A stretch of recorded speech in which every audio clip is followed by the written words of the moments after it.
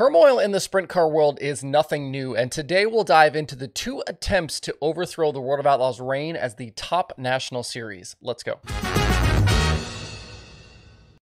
It's Tuesday, January 24th. I'm Justin Fiedler. This is DIRTRACKR Daily. We spent a lot of time the last few months talking about high limit and who's going outlaw racing, person bonus money, true outlaw schedules, and all of the unrest currently in the sprint car world. Because of that, I ended up down some rabbit holes yesterday, and I wanted to do my show today on the two big times in the past where groups attempted to split off from the World of Outlaws Sprint Car Series. High Limit is not a split, which Brad Sweet has tried to make clear uh, on numerous occasions, but it has caused some indigestion, maybe, uh, for teams, tracks, and series around the country. World Racing Group and Brian Carter are not the only ones not thrilled about this new venture, and I've actually heard from a few parties directly about their thoughts and feelings against it. This type of unrest, though, is not new to sprint car racing, and the World of Outlaws were under threat twice in their past history the first in 1989 and the second in 2005. In both instances, a large group of top name drivers went elsewhere, but eventually ended up back as outlaws when those two series went under. And I'm sure some in my audience probably remember these two situations, but if you don't or you want to hear about it again, come along with me for a little bit of a history lesson. The first attempt to knock the World of Outlaws off the Sprint Car Series throne started late in 1988. An accountant from Des Moines, Iowa, named Larry Clark formed the United Sprint Association, and the new series ran three events late in that year at Manzanita, Memphis, and Devil's Bowl. Mark Kinser won the Manzanita show, Dave Blaney at Memphis, and Doug Wolfgang at Devil's Bowl, with Steve Kinser being crowned the mini series champion, even though he didn't have a victory. For 1989, the new USA Series offered up equity to several big names and attracted Steve and Carl Kinser, Mark Kinser, Sammy Swindell, and Dave Blaney away from the Outlaws. According to series PR guy Gary Guler, USA's plan was to offer up a more condensed schedule that required far less travel. They would involve teams more in the rulemaking process and expand sprint car racing with more corporate sponsorships. This was all from an article in the Oklahoma newspaper from January of 1989. They ended up running about 50 races that year with stops at places like East Alabama, Devil's Bowl, Lawton, Manzanita, Sharon, Selinsgrove, Jackson, even Knoxville, Atomic, and Attica. Steve Kinser was crowned the champion that season with 14 wins in 50 races. Uh, he topped Sammy and Mark Kinser.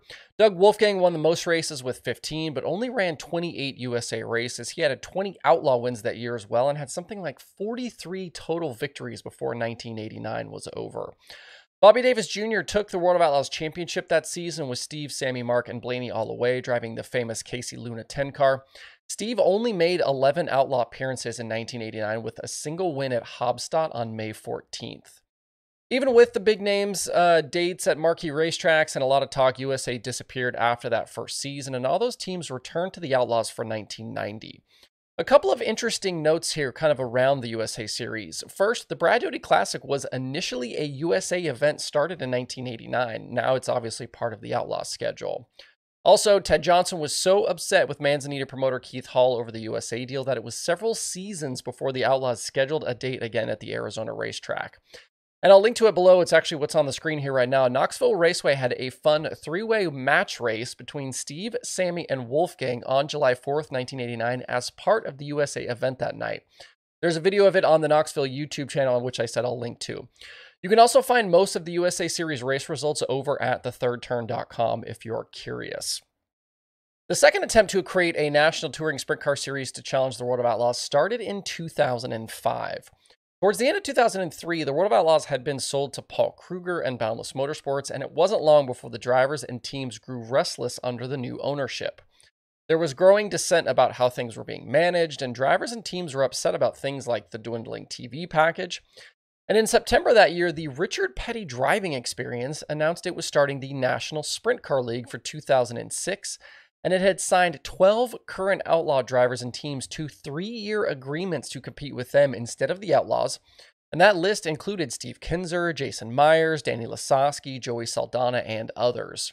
In the series announcement, Kyle Petty said that the family had looked at acquiring the Outlaws a few years before, but now had decided to start their own series. On top of the outlaw drivers they'd attracted, they'd also mentioned support from NASCAR guys like Tony Stewart, Ken Schrader, Dave Blaney, and Kasey Kahne. Late in 2005, though, things went sideways for the uh, new Petty owned series, and Fred Brownfield, who uh, owned Grays Harbor Raceway in Washington, stepped in to save the new series. He renamed it the National Sprint Tour and in just a few weeks put together the full season, announcing the 36 race schedule at the Chili Bowl on January 12th. The new series had races scheduled for tracks like Tulare, Dodge City, Lincoln Park, River City, Selinsgrove, Fonda, and many others. And with so many uh, big names moving over to the NST for 2006, the Outlaw season that year was wide open. And it became the first real breakout year for Donny Schatz. He won 19 times that year and his first Outlaw title over Craig Dollansky and Joey Saldana. The pivotal moment for the NST's future existence happened, though, on June 16, 2006, when Brownfield was killed in an accident at Grays Harbor. He was on the track helping line up modifieds for their feature that night when he was struck by one of the cars. A few weeks later, the NST's assets uh, were sold to a group of team owners with the series, including Don Lamberti, Lonnie Parsons, Guy Stockbridge, and Steve Kinser. The new ownership was able to finish the season with Danny Lasoski winning the title over Steve Kinser and Tim Kaeding, but the series started to fade late in the year. Drivers like Lasoski and Kinser decided to return to the Outlaws for 2007, with that series having a new TV deal worked out between Speed Channel and ESPN2. The NST folded in that off season. And the 2006 year ended up being pivotal for the future of the World of Outlaws as well, as Tom Deery was brought in early that season and eventually took over as CEO when Paul Kruger resigned from Dirt Motorsports. And Dirt eventually became World Racing Group, which has evolved into the uh, organization that we know today. There's a lot of feeling out there that if Fred Brownfield hadn't died, that maybe the NST would have had a chance, especially with all of the turmoil happening inside Dirt Motorsports with Kruger, but now we'll never know. So those are the two times the World of Outlaws have come under threat from other series in its history. You'll notice a lot of similarities from these two instances to things happening right now. Clashes with ownership, divides over money, TV, the schedule. It shows that the more things change, the more they stay the same. The schedule, purse money, promotion was a problem then, and some view it as a problem now. Thanks for coming along to my uh, sprint car history class for today. All right, moving on.